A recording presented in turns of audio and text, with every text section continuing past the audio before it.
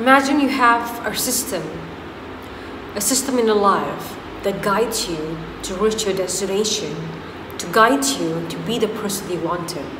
A system that gives you a sign to speed up when you have to. A system that gives you a sign to slow down when you have to. A system that gives you a sign to stop, to take a break when you have to. Most of the time, we'll be running, chasing our goal to reach our destination so that we can call ourselves successful.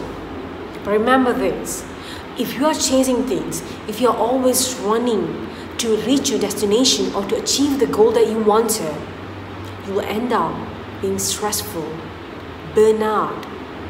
It's not just about reaching the destination or achieving the goal, but the process how or what you're doing throughout the process is going to determine whether you're going to feel happy at the end of your journey whether are you capable of reaching your destination or achieving the goal that you wanted.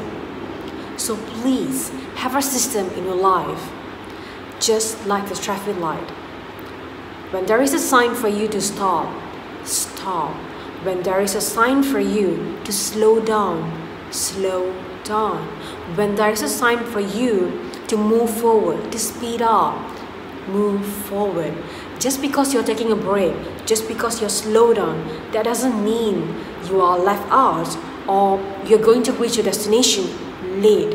Remember, when you recharge, you're giving yourself a new energy, a fuel for you to continue the journey with full form. When you're taking a break, that doesn't mean you're going to reach your destination late, but you're giving yourself to be calm, peaceful, be aware of your surrounding. And just because you have a sign to speed up, that doesn't mean you just have to focus on how to speed up to reach the destination. Please be aware of your surrounding. When you lost focus, when you are not aware of what's happening around you, you can't reach the destination. Because you know what? When you lost focus, when you are not aware about what's happening around you, what is happening inside of you, you are not able to continue the process to reach the destination you wanted. Let's say you reach your destination, but you're not physically well, you're mentally exhausted. You fail to learn few things that you have to learn so that you could be confident to reach the destination and perform what you have to perform at, at that destination you're meant to be. Isn't that will be painful? We reached the destination we wanted, but we don't have the talent and the skill that we require to have.